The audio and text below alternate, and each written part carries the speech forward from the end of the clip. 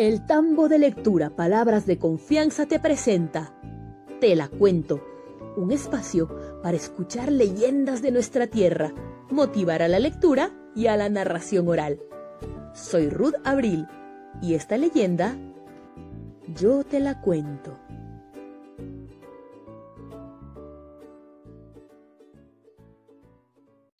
Mama Choasanguil. Leyenda tomada del blog Pachamama.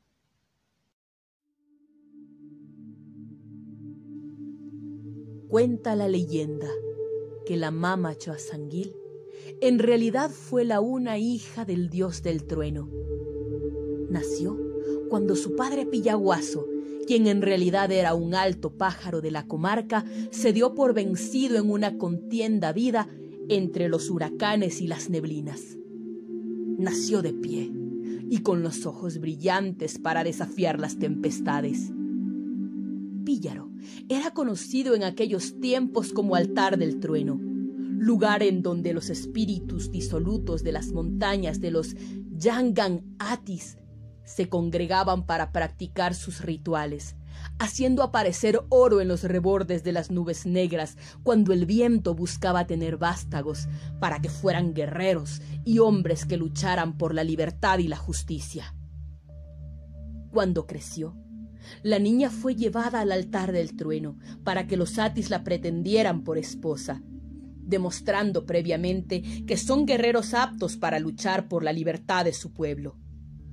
Los mayores habían decidido que se desposara con Huayna Cápac, un décimo y penúltimo gobernante del imperio inca. Como parte de la estrategia acordada con el Inca, quien pretendía formar un imperio extendiendo su prole por los cuatro costados del mundo. Estaba intrigado por buscar una revolución para ver qué fruto daba la sangre de un conquistador con una madre que tenía el principio y el germen de la libertad. Entonces ella tomó una piedra encendida que le había entregado la mama Tunguragua y en un lugar que había en Huaycotango pidió a su verdadero padre, el dios del trueno y del relámpago, que fecundara en su vientre un hijo para que luchara por la libertad, y que si no se podía cumplir con este pedido, dejara su vientre infértil, por más que el conquistador inca insistiera con ella en el hecho nupcial. Cuando se aproximaba el tiempo del alumbramiento, la princesa Choasanguil había revelado a las mujeres Atis que en su vientre sentía que su hijo le crecía como si fuese una piedra encendida, una nina rumi, y que cuando tronaban las nubes en los yanganatis, su vientre se convulsionaba hasta que quedaba exhausta, tendida por los prados de Guainacuri. Sabedor de esto, su padre había ordenado a las payas que trasladaran a la embarazada hacia el Cusco para que alumbrara allá a su vástago Inca Ati. Así se planificó y se supo que todos andaban convencidos que el retoño de Huayna Cápac vería la luz en el Cusco, que era la capital del imperio. Su padre, intrigado por saber de su hijo, estuvo en el Cusco, rodeado de amautas. Quiero ver a mi hijo y a su madre a ti, había dicho, y fue llevado a presencia de la mujer que había alumbrado en esos días un vástago de su estirpe. Mas, cuando vio a su madre y oyó los tonos y las palabras de su lengua, exclamó, Me habéis engañado. Esta mujer no es Nina Sisa, la princesa Choasanguil. Esta no es mi Nina Sisa, la flor de la canela que moja sus labios en el culapachán.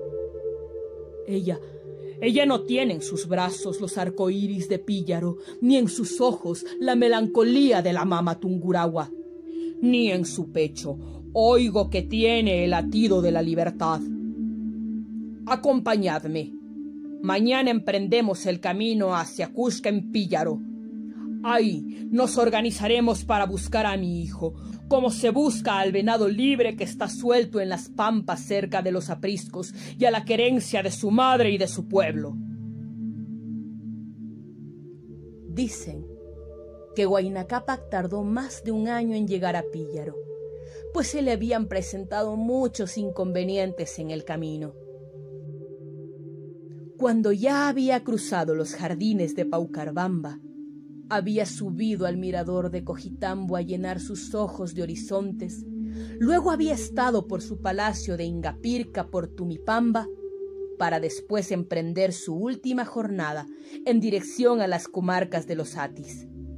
En los impresionantes aposentos de Mocha le avisaron que en realidad había sido engañado, que la princesa Choasanguil había sido escondida por Neblina y protegida por Iliapa, el dios del rayo y de los truenos, al momento que la quisieron montar en una yaminga para que viajara a alumbrar a su hijo lejos de su patria.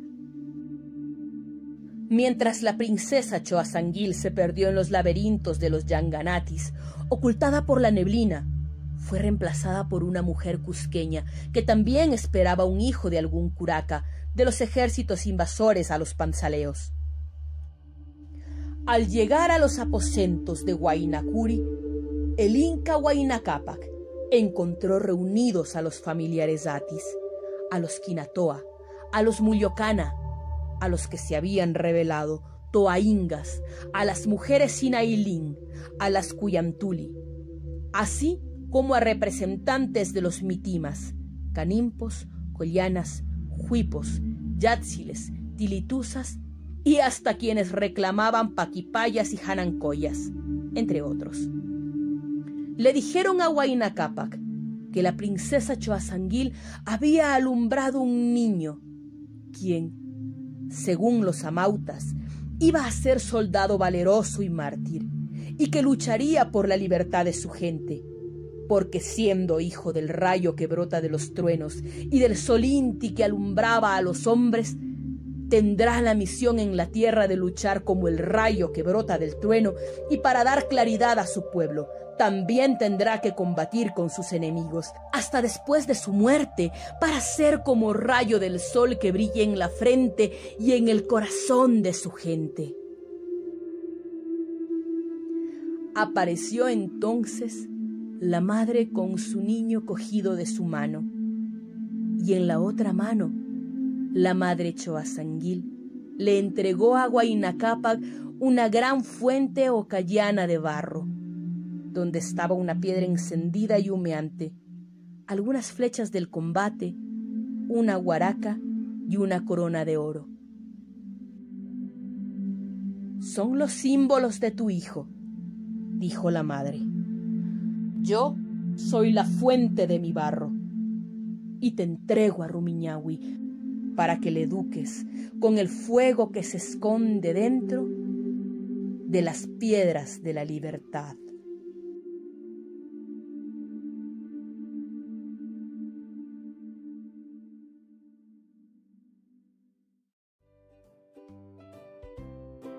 Si te gustó la leyenda, dale like y déjame tu nombre, apellido y el lugar desde donde nos escuchas y en la próxima entrega te enviaremos saludos. Nos escuchamos en la próxima leyenda.